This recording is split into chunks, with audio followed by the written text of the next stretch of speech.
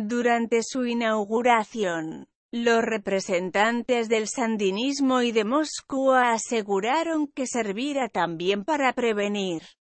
desastres naturales y dar seguimiento al cambio climático. Pero ante el hermetismo de ambos gobiernos, la especulación está servida, y hay expertos que creen que su función sería espiar